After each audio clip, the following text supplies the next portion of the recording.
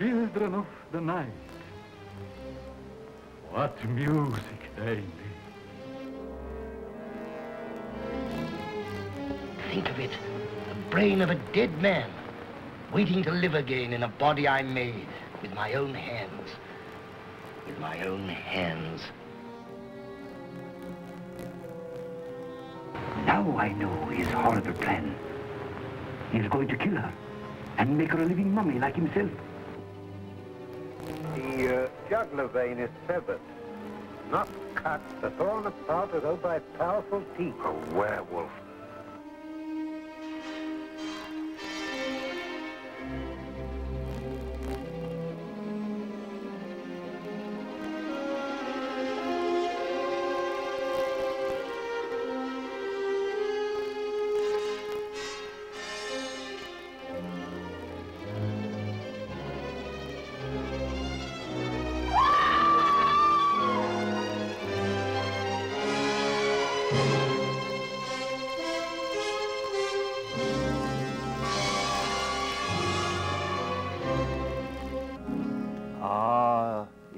1928, how I could have used a magazine like mine.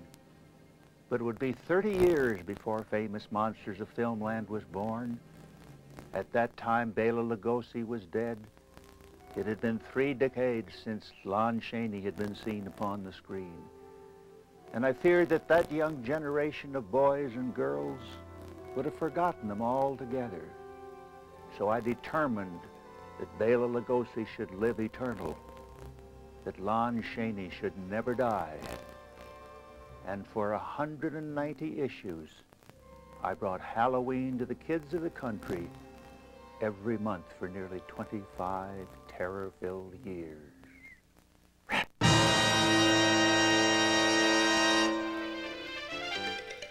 Hooray for!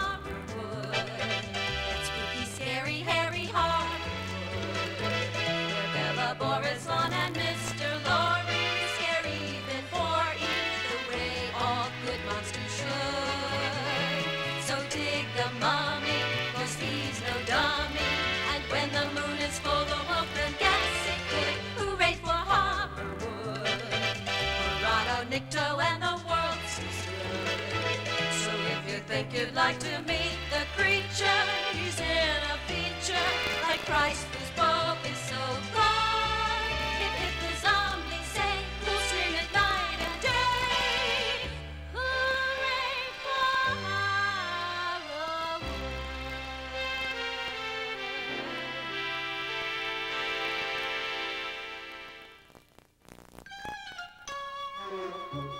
The Ackermansion in Hollywood, or uh, Horrorwood, California. Often referred to as the Acker Museum by visitors, this is the palatial home of Forrest J. Ackerman, the Acker Monster. Mr. Science Fiction, Dr. Acula, the boy who was born on Mars, or as he's known to legions of fans around the world, Forry. This is Monster Central and a mecca for fantasy lovers and serious students of one of the oldest and grandest of cinema genres. Here are preserved over 350,000 books, photos, posters, paintings, artifacts, and movie props representing more than a century of horror, science fiction, and fantasy. One man's monument to imagination. Might wonder, well, why this magnificent obsession? Because in the mundane world, perhaps I might live a hundred years, but in the world of imagination, I've been to Transylvania and met Dracula. I've watched Dr. Frankenstein create his monster. I've roamed around the universe, been to the center of the earth. All, all of these things uh, add up to perhaps a thousand years of living crammed into 100. But it's as creator and editor of Famous Monsters of Filmland magazine that he's best known and loved. Through the pages of Famous Monsters, Forry presented a world of fantasy, a world he appreciated as a genuine literary and cinematic art form. I think we all um, sympathize with the Hunchback of Notre Dame and the Phantom of the Opera, and imagine what that we are them, that uh, that we are these monsters, uh, even though we're not. Uh, some of the handsomest people in the world have hidden in their psyches feelings of inadequacy. So you put all these metaphors in your magazine, and people see them and they say, oh, gee, that's bad. Our kids shouldn't be fantasizing. And uh, I've always said the opposite. The ability to fantasize is the ability to survive, huh? Forry enjoyed these weird characters and presented them with a unique blend of history and hysterics. Issue after issue, he punned and smiled his way into millions of young hearts, eager to unleash their enthusiasm.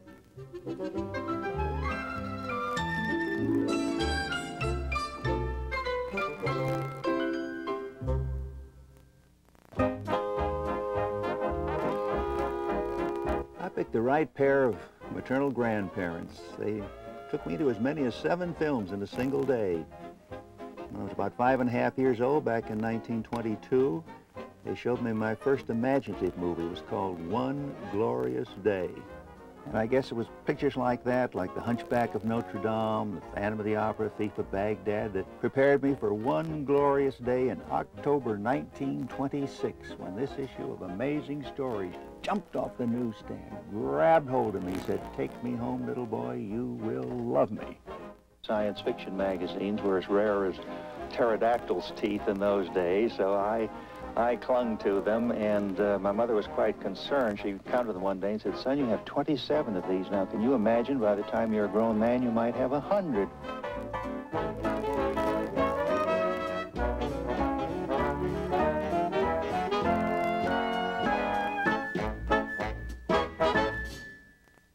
And the following year, I was riding around my automobile, had the radio on, was listening, and uh, heard some mention of hi-fi.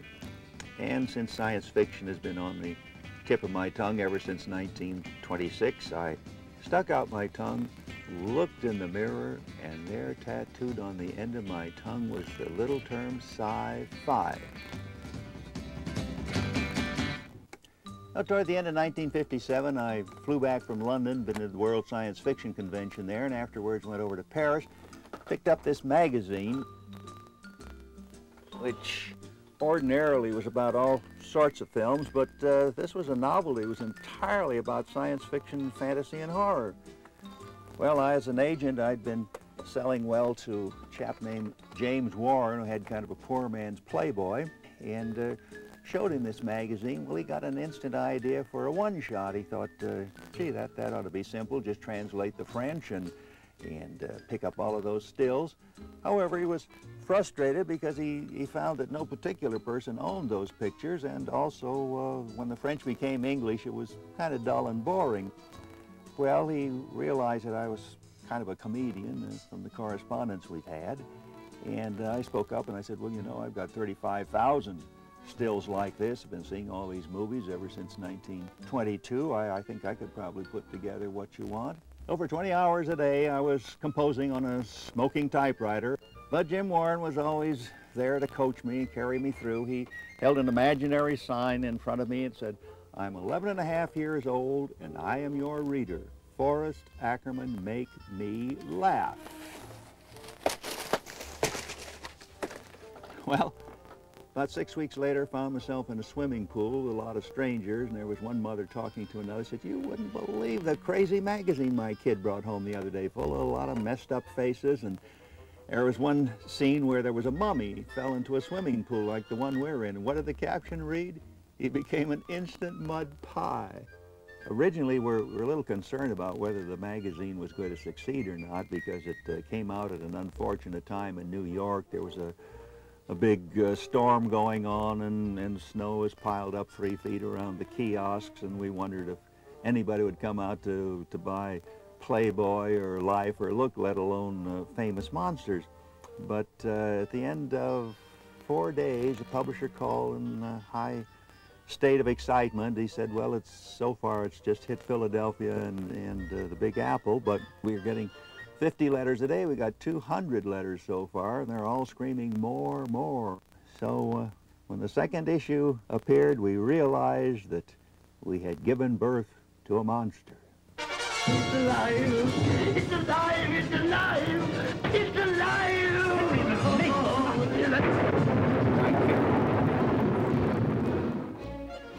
Famous Monsters was unique, with fabulous film stills, rare behind-the-scenes photos, and insightful articles about the movies and the stars. It was also a lot of fun, full of Forry's gentle wit and stunning puns. Forey made monsters lovable. Frankenstein, Dracula, the Wolfman, and a host of others became familiar friends, and readers eagerly awaited each fantastic tale from the lovable wizard of Weird.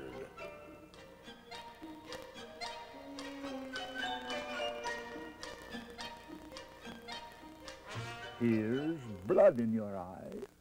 I am Dracula.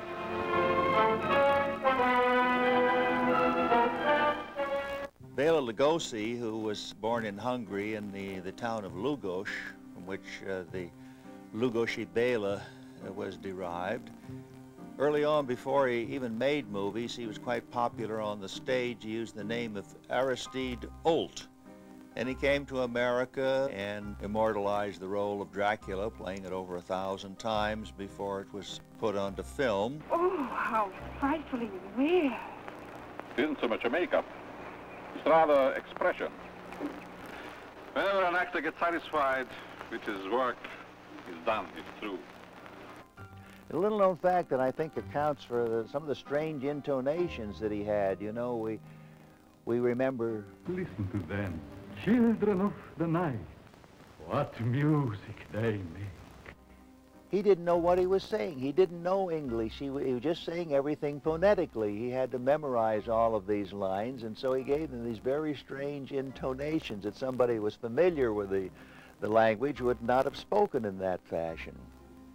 After he made such a big success in Dracula, they began to, to team him with the hot new horror star on the lot, Boris Karloff. You're poisoned. Poisoned. And everyone I touch is poisoned. They die. Your father was Frankenstein. That your mother was the lightning. His face and hands will appear like, like phosphorus. And uh, if he touches anyone, they die. Then he was in a film called Black Friday. When there was something extraordinary there, he was actually hypnotized at one point. Let me out, please! I'm suffocating! Once or twice he broke out of the, the mold of the, the monster, but uh, in the end was doing kind of spoofs of his own self. Count Dracula sleeps in this coffin, but rises every night at sunset. Chick is right. This is awful silly stuff. Let me loose. Do you hear me? You will be soon as big as a giant. Or, like all the others, dead. Put her under black sleep. Take her up to surgery at once. This is criminal. Monstrous. In 1956, I was with Bela at the premiere of his final film, The Black Sleep. Bela was a very proud man. He would not be seen in public wearing glasses. So without them, he was as blind as the proverbial bat. Well, we got to the bottom of the stairs, and it was obvious to me that the TV reporters wanted him to come over for an interview. So we said to him, uh, Bela, they, they want you there. And he whispered in our ears, and he said, boys, point me in the right direction. Now there was a miracle to behold. Bela had but recently been released from the hospital, where he had been cured of his drug addiction. Now the world wanted him one more time. And it seemed like this poor, desiccated man with his withered limbs began to rise, to fill out, to become the tall, proud figure of yesteryear, Count Dracula.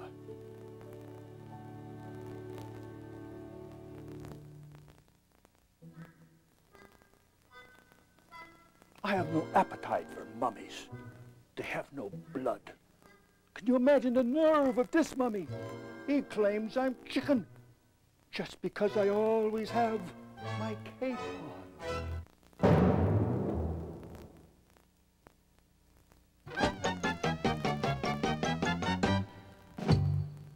This magazine has influenced a lot of people. I think I was probably about 12 the first time I read it, and I was just like fascinated by it because it's like the only thing you could get. When this dead hand moves, the monster created by a man they called Mad is turned loose to strike terror into the hearts of men.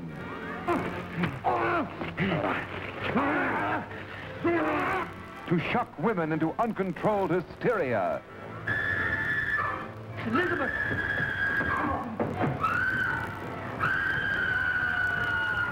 To prey upon the innocence of children.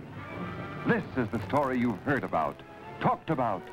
The spine-tingling, blood-chilling story that stunned your emotions. Frankenstein. Frankenstein was a Christmas present to the nation in 1931. Boris Karloff had just uh, been a truck driver, although he'd been on the screen in minor parts for some years past, even into the silent era. But uh, he was discovered by James Whale at a time that a number of other actors had been considered for the part. Of course, Bela Lugosi never tired of telling how he turned the role down because uh, he had this wonderful Hungarian accented speaking voice, and uh, when he discovered that he wasn't going to say anything, he wanted nothing to do with the part. Like Lon Chaney before him, he had to suffer considerably for the role of the monstrosity. His face was so frightening that uh, no one around the studio could stand to have lunch if they had to sit near him, so they devised a device of having him walk around the studio lot with a huge handkerchief uh, over his face. Jack Pierce, the man who created the facade of the Frankenstein monster, did a lot of experimentation before he got it just right. He looked at uh, cadavers and, and the way that a, a skull would be removed from a head. So it was a fantastic collaboration between Jack Pierce, the makeup artist, and Boris Karloff himself bringing pathos to the role.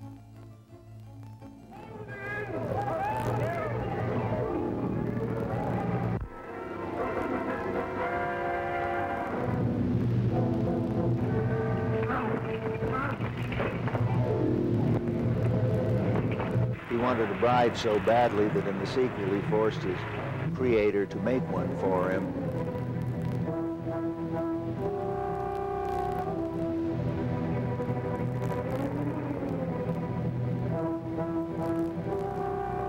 One magic hour in 1968, every word that came out of Boris Karloff's mouth I had put into it. I had written a script for a Decca record album, eventually known as An Evening with Boris Karloff and His Friends. Vampires, werewolves, ghouls, ghosts. Mummies that come back to life after 3,000 years. Can such things be? Well, I've spent a lifetime doing my best to persuade you, at least for an hour or two in a darkened theater, that there are things that go bump in the night and raise a lump in your throat, a hard knot of terror. Two people are missing, and I want to know why they haven't come back. Mr. Rowe, I imagine, would have us suspect foul play. I leave my secret with you. It is all there. More power than man has ever possessed. Power to heal, power to destroy. The whole of the city is at the mercy of a gang of criminals, led by a man who calls himself the Kid.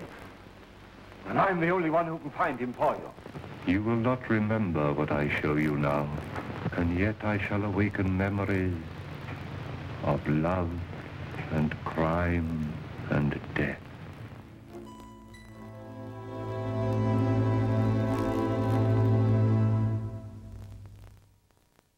Oh, I remember having the pictures. I was a surfer and, uh, and I liked famous monsters. And I had my wall in my bedroom was surfing photographs and then my favorite, you know, foldouts from famous monsters. That one of the mummy, the Karloff mummy, is a great one. How old were you when you started reading this? Gosh, I don't want to, you know, in Hollywood here, you're never supposed to divulge your, but uh, I was pre-adolescent.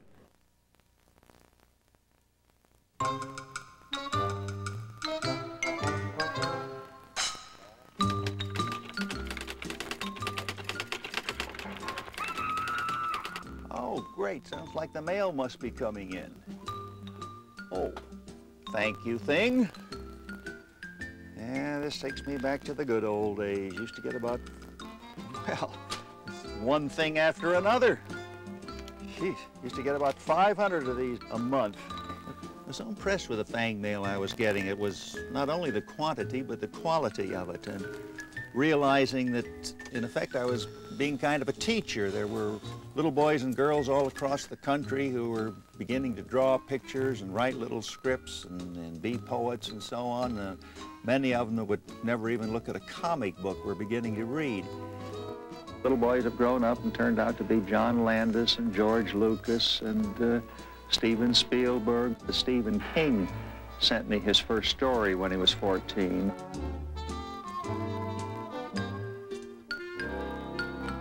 I'm kind of flattered to feel that I did have some kind of an influence on a whole generation. And as a matter of fact, when Steven Spielberg was here, he gave me a poster from his classic film, Close Encounters of the Third Kind.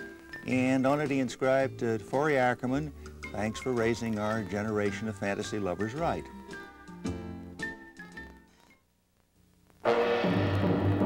Lon Chaney Sr. had died in 1930, so by 1958, when Famous Monsters of Filmland emerged, he was somewhat of a forgotten character, and I brought him back to life. I decided that Lon Chaney shall not die, and in each issue I would feature something about the man of a thousand faces. Lon Chaney said that between films there was no Lon Chaney. Montage of a score of faces out of the thousand that Lon Chaney created. Quasimodo, the Hunchback of Notre Dame, the Ghoul of London After Midnight, Dr. Ziska in The Monster, the Ape Man of Blind Bargain as the Chinese Mandarin in Mr. Wu, He Who Gets Slapped, in the role of a grandmother in The Unholy Three. What Robert Bloch characterized as the naked face of horror, Erik, the Phantom of the Opera. Mary Philbin, who was the bravest girl that the silent era had ever known when she took the mask off Lon Chaney. Two capes for the price of one. This was first worn by Lon Chaney when he played the role of Erik, the Phantom of the Opera. Later on, it was inhabited by Claude Rains, the Invisible Man, who was also seen as the Phantom of the Opera.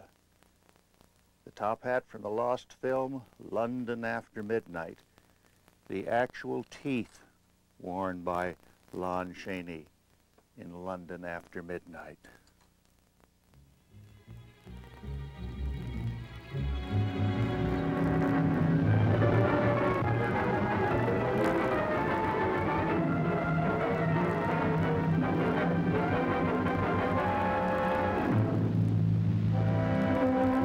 Lon Chaney Jr. Actually, he never wanted to follow in his father's footsteps and be known as Junior. Originally, he used his name of Creighton, Creighton Chaney, and he played some romantic roles. But inevitably, the studio felt that there must be another man of a thousand faces, and Chaney Jr. became known as the Wolf Man, the unfortunate Larry the Lycanthrope, Talbot. Whoever is bitten by a werewolf and lives becomes a werewolf himself. Oh, don't hand me that. You're just wasting your time. The wolf bit you, didn't he? Yeah.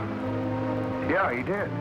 He was inevitably typecast as the Wolfman, although he appeared in numerous other films of a fantastic horror nature.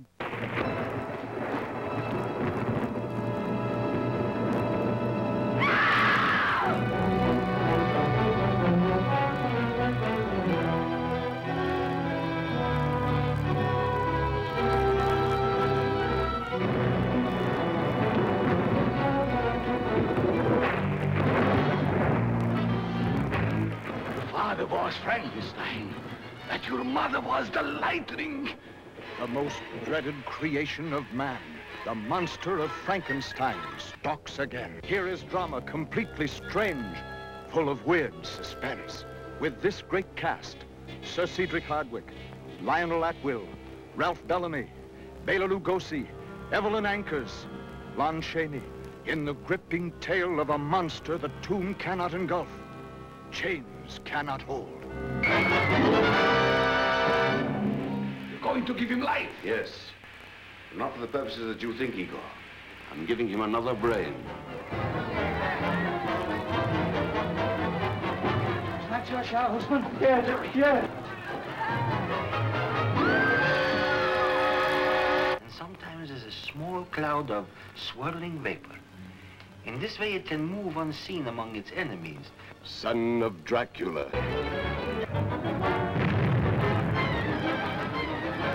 I don't believe he was really happy in those roles. I was in his home at one time and he was telling me how after being wrapped up in the mummy gauze for something like 16 hours when they took it off that the blood actually spurted out of his forehead and how tough it was for him to pick up Evelyn Ankers and carry her upstairs and into swamps and so on. I think probably he was happiest with his Academy Award performance of Lenny in Of Mice and Men. But the fantasy field will long revere him as the lycanthrope Larry Talbot, the Wolf Man, created by Curt Siodmak. There's a curse upon me.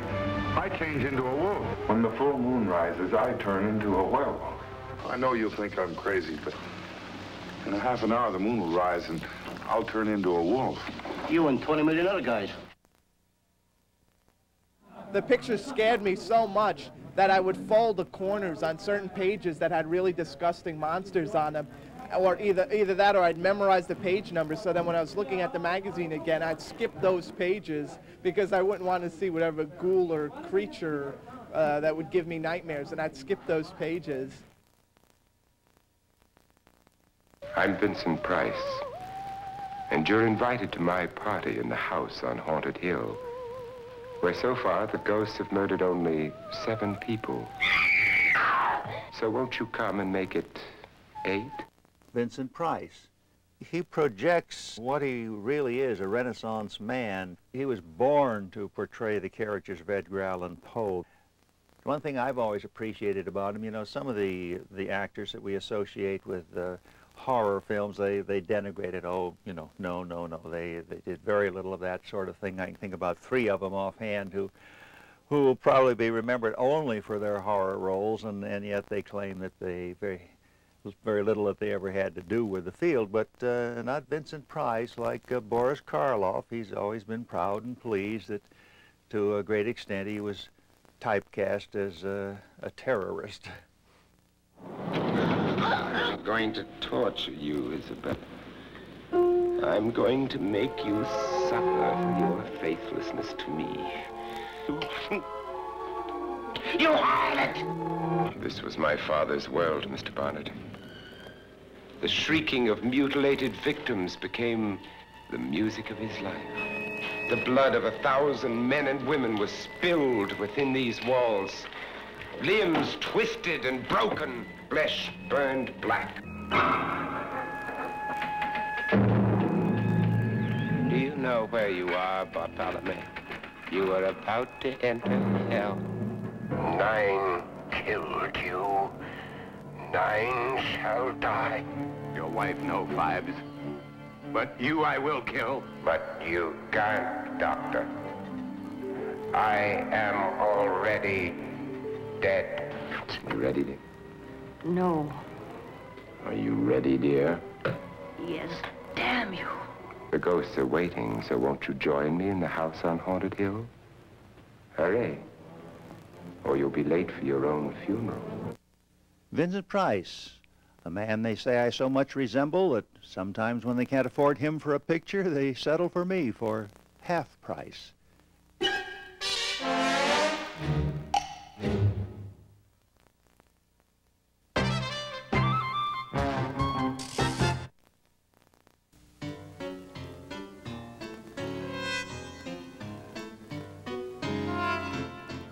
Well, here we are in the Chamber of Dead Props. First prop I ever acquired was uh, the big sound discs in 1931 from Frankenstein. Shortly thereafter, I got the sound discs from the Old Dark House and the Mummy and Fredric March Academy Award-winning production of Dr. Jekyll and Mr. Hyde. It's all grown here in this room from those first few discs to now over 600 pieces that you've seen in many motion pictures during the last decades. So here are six of the seven heads of Dr. Lao, a gift of the late George Pal and Academy Award winning William Tuttle, who molded them. These originally went around all of Latin America and were used to promote the picture. And then the small ones were those that were animated.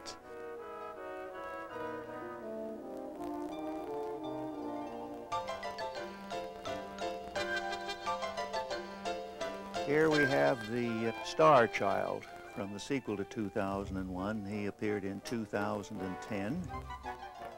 Dick Smith created this head in 1958 for the picture of Dorian Gray, a version of it that appeared in the TV series Way Out.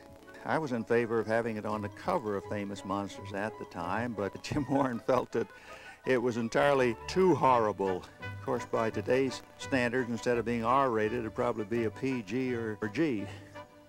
I am the chief robot of the Phantom Empire, the scientific city of Murania, 10,000 feet beneath the surface of the Earth.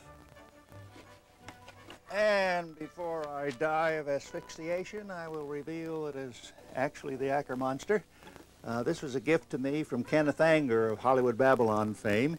It's uh, actually just made of cardboard with uh, silver spray, since it was meant for uh, cereal in the afternoons of Saturdays for just kids. I guess they weren't too particular about the creation of it. It, it seemed to serve its purpose. I know it, it kind of thrilled me when I was back in 1936.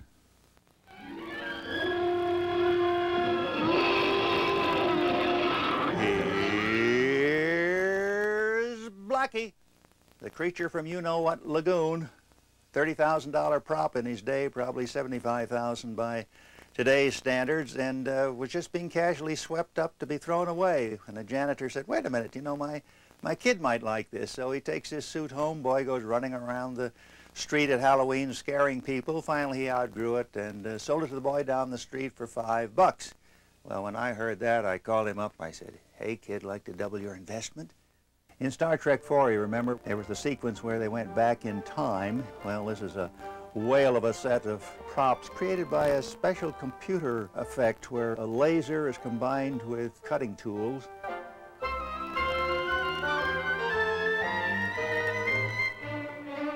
Well, people had a fit when they saw this Zanti Misfit, which was from a Cy Ants section of the popular TV series Outer Limits.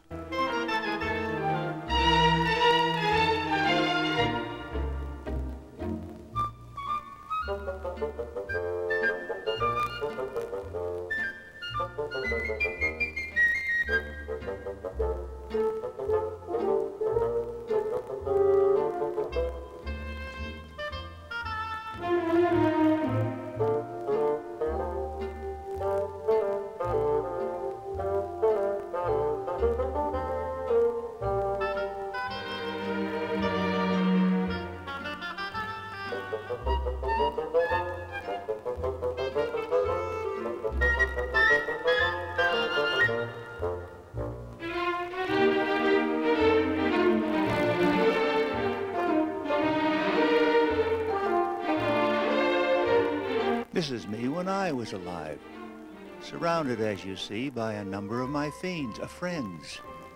These are life masks, made at the studio of Don Post for posterity. Bela Lugosi, Boris the Benign, Vincent Price, Don Post himself, Tor Johnson, the fat monster, and John Carradine, the thin monster. Charles Laughton, Lon Chaney Jr., Peter Lorre, the Lord High Minister of all that was sinister.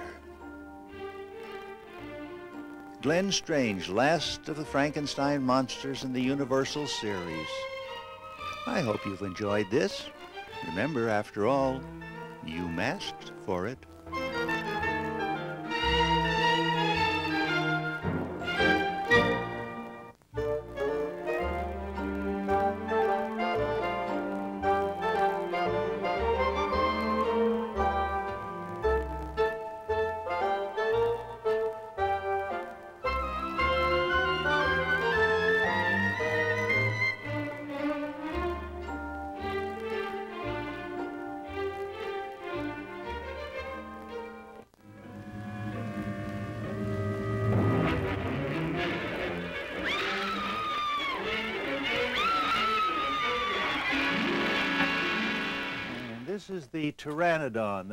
Trying to fly away with Fay Wray when she was up on the ledge and King Kong's curiosity overcame him. He was trying to divest her of her outer garments.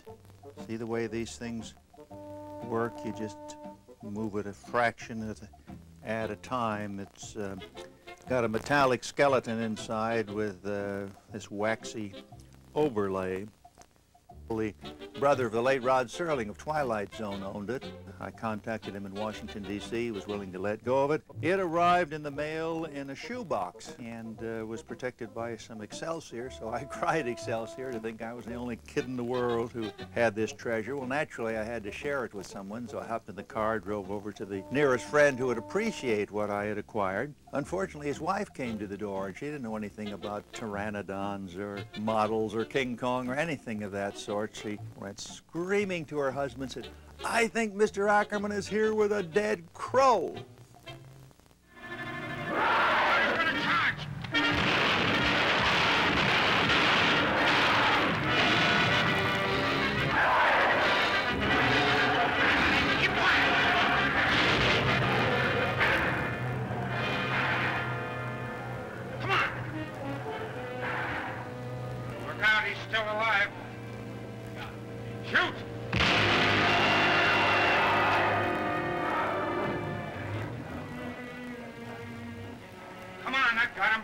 Is the Stegosaurus in King Kong that was uh, built by Marcel Delgado. He personally carved each of those uh, spines on the back. They're uh, made out of wood.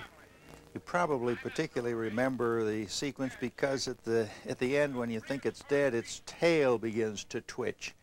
If they hadn't added the twitch, they probably could have saved a, a week of animation. But just for those few seconds on the screen, it uh, took a lot of patient work on the part of Willis O'Brien.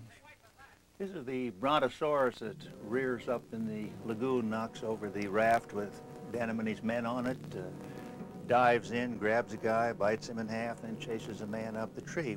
In the mid-20s, in the Sir Arthur Conan Doyle adaptation of The Lost World, Willis O'Brien and Marcel Delgado really had a monumental collaboration. Delgado built 49 dinosaurs, and Willis O'Brien had the monumental job of animating all of them. They didn't have the techniques that they have today. Much of this was, oh, just by gosh and by guess.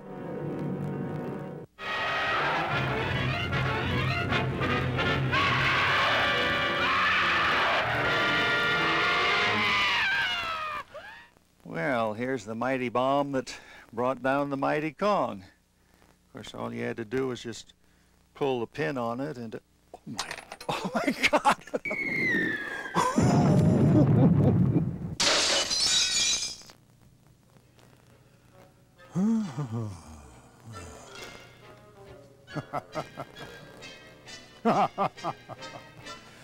oh my, ah, well, uh, unbelievable, eh? That's number, uh, number 15 on uh, the famous, uh, famous Monsters of Filmland magazine cover here. And I see here, I'm, I'm Zachary, by the way, and uh, I see here I was supposed to uh, judge a uh, makeup contest back in those days. You uh, people who are a little bit older now, and those of you who weren't even born yet or even thought of, were asked to send in, you know, makeup picture of yourself and makeup. And I, I assume I judged it. I have no idea whether I did or not. I, uh, if you are a winner, I hope you got something worthwhile. But um, way things go these days, and then those days, uh, maybe you didn't get anything. But the good fun that uh, came from all this, I, I, uh, I saw all these films, you know, and back in, um, I guess, 58, 9, 60, somewhere in there, in uh, Philadelphia, which is generally down that direction, and uh, New York, which is over here, where I spent uh, many happy years introducing spooky movies.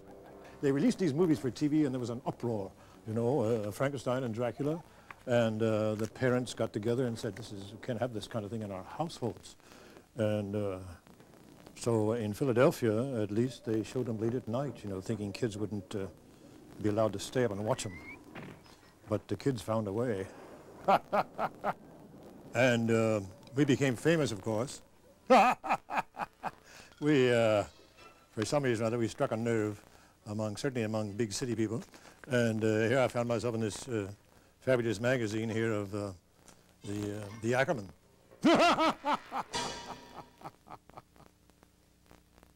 Ultima Futura Automaton, the Metropolis Robotrix. First female-formed robot ever seen on the screen.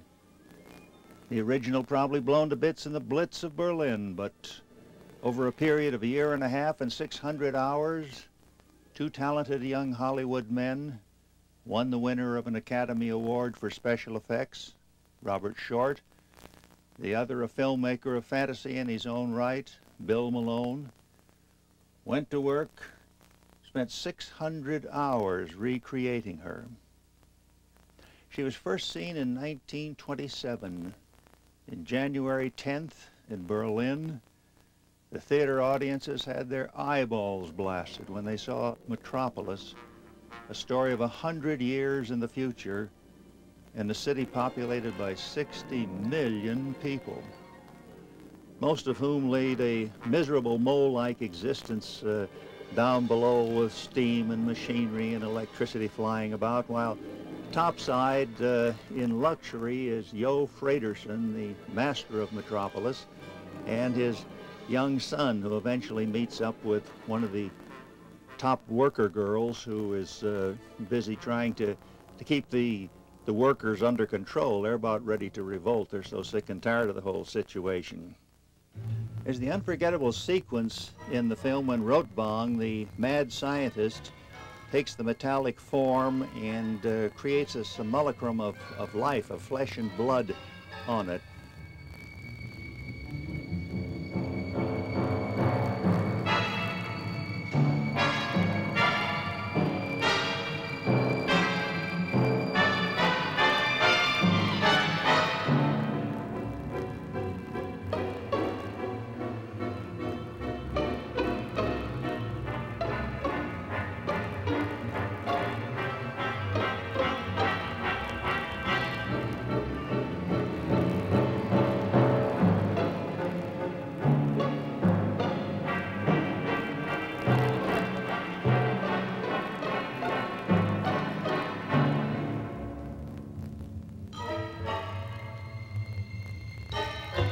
Met up with a man in in uh, Munich in 1951 who had created that effect, and he said, well, Mr. Ackerman, he said, believe it or not, we just took a lot of these little balls that you uh, put on your Christmas tree, and uh, with piano wire, we uh, revolved them uh, up and down uh, the, the form, and, and that was the effect. But it, say, is most effective on the screen. Originally, she was inhabited by the body of a 16-year-old girl, her first part in a picture, named Brigitte Helm. The young star of the picture, Gustav Fröhlich, who became kind of the fair-haired boy of the German cinema, met up with me in a hotel in Berlin. We had several interesting conversations. He and his broken English was kind of amusing. Each time he would leave me, he'd walk away and he'd say, hello. Fritz Lang photographed 49 times as much footage as ever reached the screen. Today, uh, he or an editor would take the very best of, of each shot, and that would uh, be it for the world. But oddly enough, in his time, the very best scenes were saved just for Berlin, then we'll say the second best for Germany, the third for France, the fourth for England, and so on. It arrived in America in negative form in uh, 17 reels.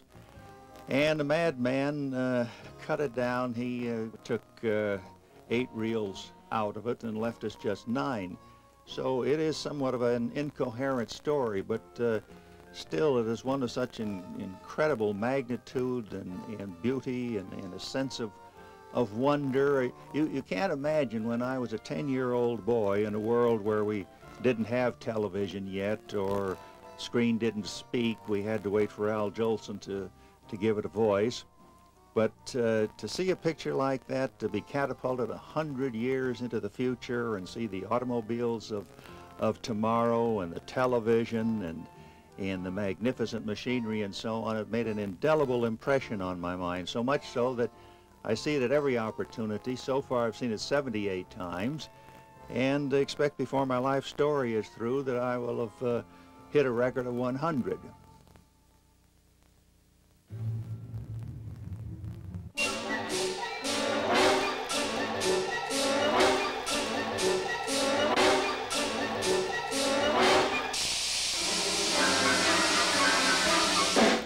My opinion of Rotwang, the mad genius of Metropolis who created me, the Robotrix, he meddled with things man was meant to leave alone. Meet a charming character in The Robot, able to produce on order 10 tons of lead or a slinky evening gown.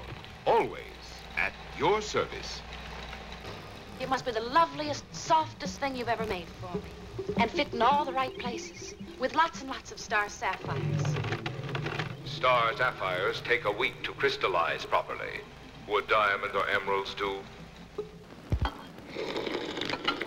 Gentlemen don't make noises with their soup, Timmy. Meet Timmy, his mom, and his dad, his friend, Robbie the Robot, and the supercomputer. Together, they devise a method to make Timmy invisible. Oh, boy! I suggest you put the flask of reagent in your pocket. Take a spoonful twice daily, or whenever you start to reappear. Well, Robbie the Robot, I know you began your lengthy career in Forbidden Planet, followed up with The Invisible Boy, then we're seen in an episode of Columbo, and as a matter of fact, you may remember you and I cameoed in Hollywood Boulevard. But I frankly must confess, beyond that, I'm kind of lost. Fortunately, we're right here in the home of your roommate, Bill Malone. Can we have Bill here? Uh, you fill us in on the good stuff.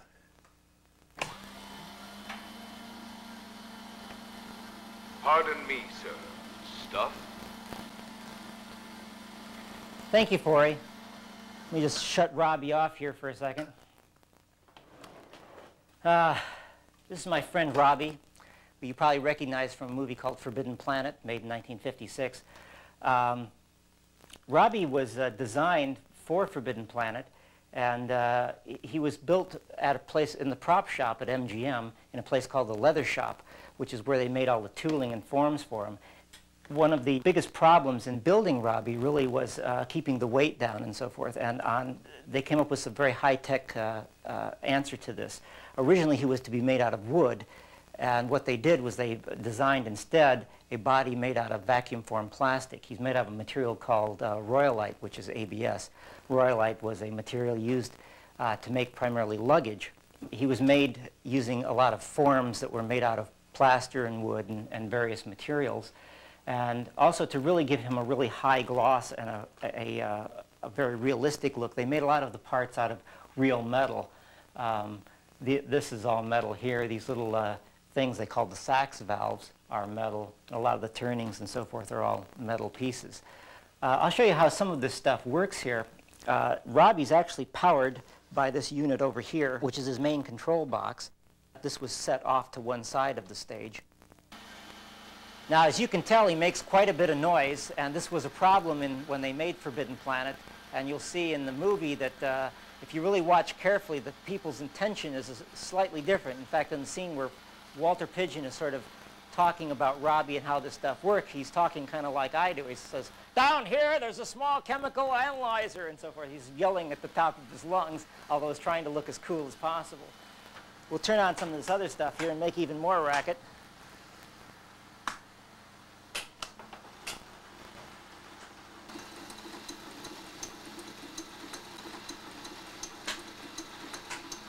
And I think we can get these uh, Sachs valves here to work here if I uh, just turn this right here.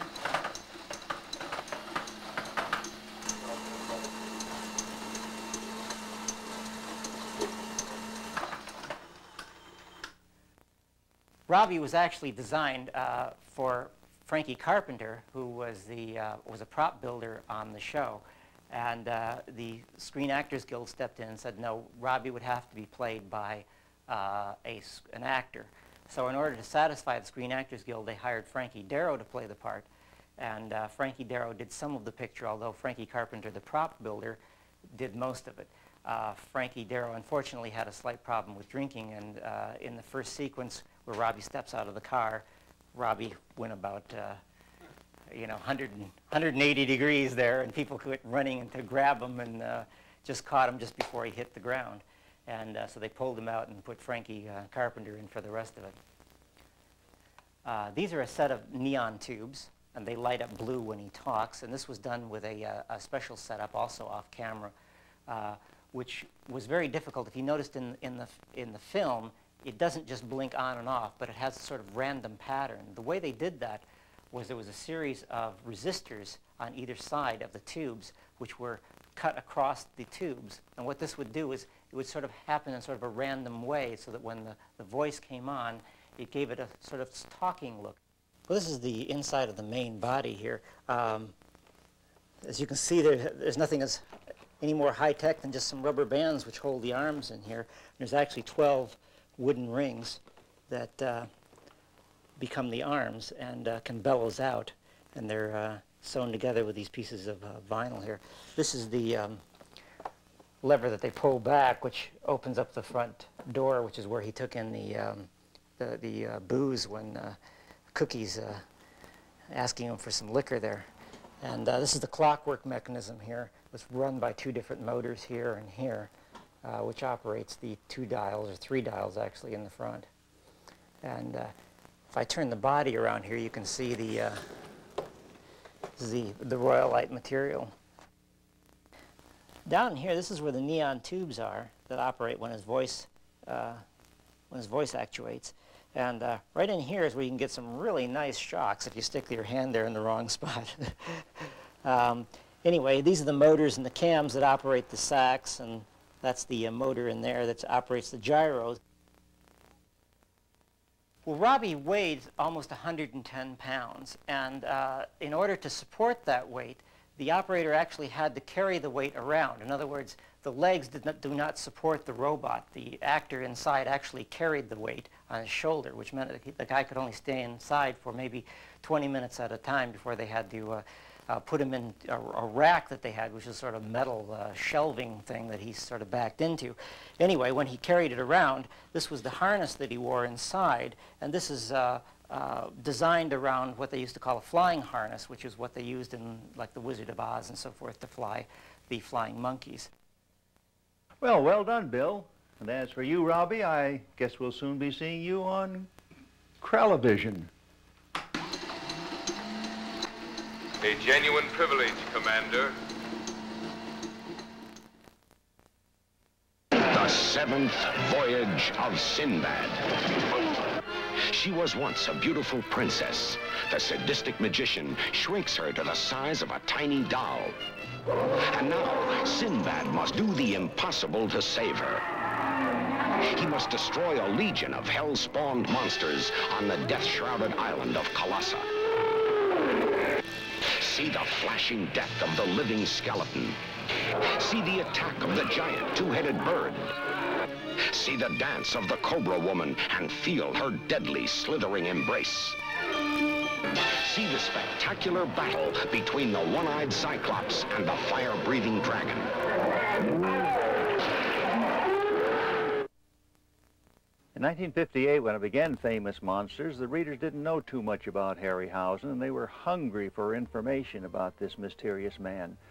So I turned back the clock and began to tell them little tales. For instance, in 1938, I believe it was, a young gangly teenager came to me. He'd been to a revival of King Kong and had been excited by the stills, wanted to acquire them, had gone to the manager, and the manager said, well, unfortunately, I don't own them. There weren't any left around town because a man named Mr. Ackerman has them all. Maybe you can go and talk him out of them. Well, he couldn't talk me out of them, but he did talk me into a lifelong friendship. He read up on Willis O'Brien, who was later to be his mentor, and uh, uh, discovered the magic of, of stop motion. You have a figure such as this, and you move it and shoot one frame and move it one frame, and uh, then when you, you run it through the camera, it, it comes out and appears to be alive. That, that's a very tedious process. You may only get a few feet of action in an entire day. But uh, he stuck with it, and then he met up with George Pal and worked on some of his Puppetoons, and uh, eventually had the great good fortune to get associated with Willis O'Brien on uh, Mighty Joe Young. And uh, he was off and running then into his own world of, of becoming uh, the modern master of animation, uh, doing the uh, popular Sinbad films and uh, Gwangi and 20 Million Miles to Earth with the Ymir and creating a, uh, an imaginary dinosaur very popular called the Rhedosaurus. Around the time uh, that I first got acquainted with uh, Ray, he was very busy in a little garage laboratory, all his own, experimenting on stop motion. And uh, he almost got stopped in his tracks because one day his mother came home, went to the cupboard, and it was bare. Instead of her uh, fur coat being there, it seemed that some mysterious manner it had metamorphosed itself into a mastodon, a woolly mastodon. And I said to Ray, well, you know, you can always get yourself another mother, but I mean to be the only boy on the block with your own woolly mastodon. Now again, when he was a teenager, he liked to draw ghastly, ghoulish faces. He always hoped that he would create one which would cause a girl not only to scream, but to faint. To show you how we used to behave, we went to the uh, Paramount Theater, and I think it was uh, Halloween 1938 or 39, and Ray Harryhausen, our friend, had made a, a latex mask, a horrible mask. Nowadays, they're all over the place, but in those days, no one had one except Ray Harryhausen in all of Hollywood. And of course he put it on, or I put it on, I suppose. I've got to take the blame. And leaned forward to, into the next row of seats. And there, were a lot, there was a lot of screaming there for a while, and I almost got punched out. But, but that was our idea of Halloween, and it's a very dear memory.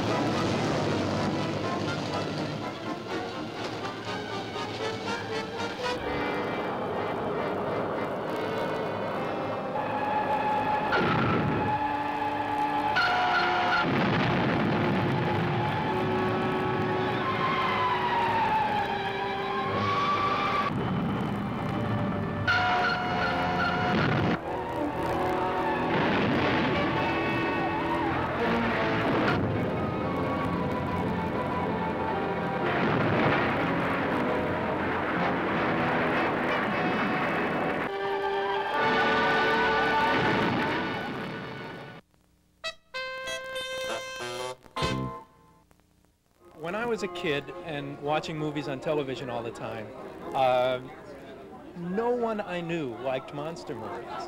I mean, I like movies of all kinds, but particularly monster films and horror films and thrillers. And I found famous monsters of filmland in a liquor store. I used to sweep their parking lot, and the owner of the store would give me the famous monsters to do that. And I thought, this is great. This is a 35 cent magazine, and I'm getting it for just sweeping his lot. But uh, I knew no one else. I had no friends who liked horror films or even understood it. And here was a magazine devoted to it. And uh, it was an amazing thrill. And I, I read them all. And I could never see the movies because they never came to my, my hometown theater. So I watched the movies in still life through Forry's magazine.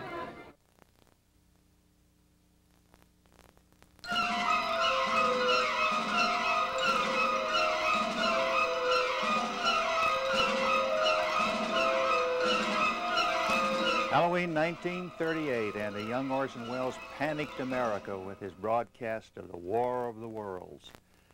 Unfortunately, I was working, uh, they called the graveyard shift in those days, from 12 at night till 8 in the morning. I was utterly oblivious of it all. I went home, went to bed about 9 o'clock in the morning. 11 o'clock, got a phone call from New York, says, uh, please rush all newspaper accounts of the invasion from Mars. Well, I was half asleep, kind of groggy, and I say I'd, I'd missed it all. Good grief, what's it? What did I sleep through? You mean the Martians have landed at last? So half dressed, I don't think I even had uh, shoes on. I went running around to uh, the boulevard, and when I was already half a block away, I could see these headlines, um, um, Mars invades, uh, thousands panic, and so on. And I, I think like uh, so many other people, I was halfway fooled for a short period of time. Well, some years later, when uh, George Pal adapted the H.G. Wells novel, and incidentally, Pal told me at one point that he rather regretted he hadn't left well enough alone and had just done it as a, a period piece, but uh, I thought it came off very well in modern times. I was invited to Paramount Studios to see the preview of it, and afterwards I sent George a telegram. I said, I'm blue in the face, and I forgot to breathe for 78 minutes while I was watching the preview. Of all of the uh, science fiction works that have been translated to the screen, I think that uh, Pal did one of the most exemplary jobs with the War of the Worlds. I think H.G. Wells has been pleased with it. The Martian death ray machine from War of the Worlds. Amazing, isn't it, what a little papier-mâché could do, appear so menacing and destroy the City Hall in Los Angeles? But that's it, that's the relic. I spent five hours combing Paramount at one time to find this.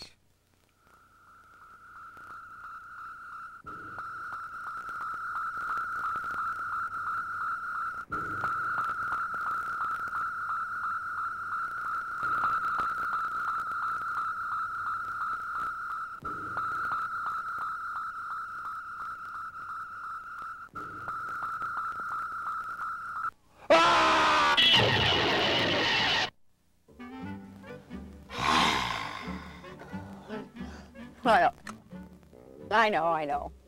What's a nice girl like me doing a stunt like this? Well, one name, Forrest J. Ackerman. Forry, Uncle Forry, as we all know him, really started my horror career.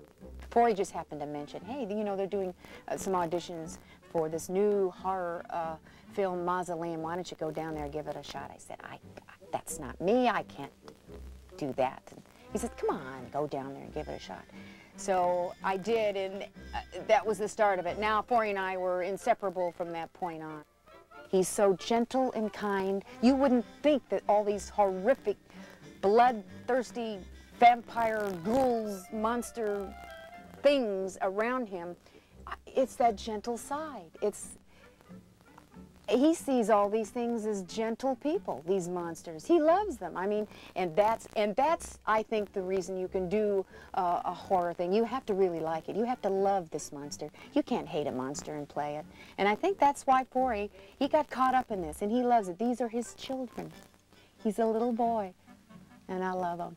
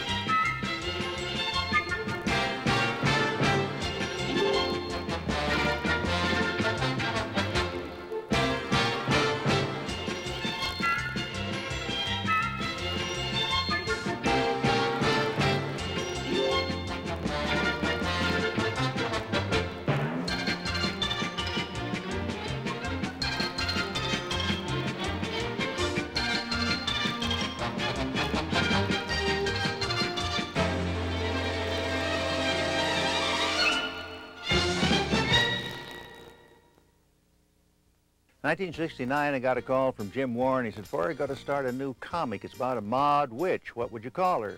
Well, off the tip of my tongue, I said, well, how about uh, Miss Terry? Mystery. No cigar on that. And uh, a few months later, I was flying down to Rio to a fantasy film convention. Fabulous plane. Sitting behind me was George Pal Palin, Yvette Mimieux, and aboard was uh, oh, Philip Jose Farmer, Robert Bloch, A.E. Van Vogt, Poul Anderson, Roman Polanski. And uh, Thunder and Lightning was flying around the plane. I thought, well, I'm not going to sleep tonight. Yeah, what, what about that Maud Witch character? Well, Barbarella was very big on everybody's mind at the moment, and uh, Vampirella just jumped into my mind as a corollary to it. And before I knew it, I was off and running in my mind. I thought, uh, gee, she could live on a planet Draculon, have a twin sister called Draculina. The uh, rivers and seas and everything would flow with blood there. And uh, occasionally when the two suns got together, the, the blood would cake up and everybody would be in big trouble. So in my mind, I, I had the origin story that uh, indeed that would happen. And uh, she would be a shape changer and she would uh, see a, a strange ship from another world, a rocket would crash. She would fly out there to be a reporter to look it over.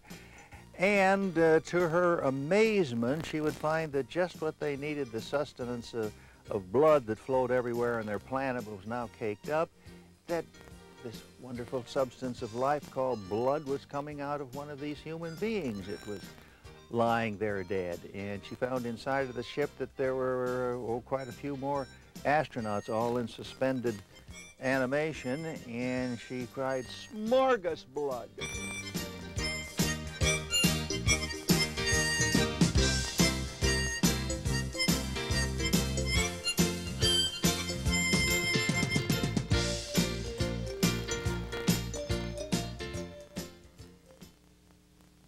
first time I ever met him in person, I was a guest in his home. And that's an extraordinary experience. My two children, my two sons, and myself went. And his home is just, well, it's a reflection of Forry and his life, but it is also the most marvelous myriad of magical, mystical things. It's, it's superb. In the 1930s, it was possible for an enthusiastic youth like myself to write a letter to an artist or an editor or a publisher admiring a particular painting, and it was very possible that in a week or two in the mail it would arrive as a gift. By 1939, the time of the first World Science Fiction Convention, paintings began to be auctioned. I think a high of $10 was paid for a Frank R. Paul cover at the first World Convention. As time marches on, we get to 1935 and this particularly fine pastel by Margaret Brundage from a cover of Weird Tales. An outstanding example of the artwork of Frank Rudolph Paul. He was the Austrian artist who dominated the field of science fiction for its first 10 years, from 1926 to 36. It was in 1926 that he first attracted me to the cover of Amazing Stories, but it wasn't until 1927 that I noticed the magazine for the second time.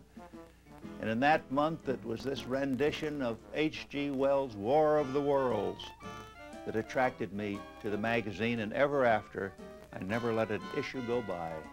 Well, Frank R. Paul was the inspirator of my entire science fiction existence.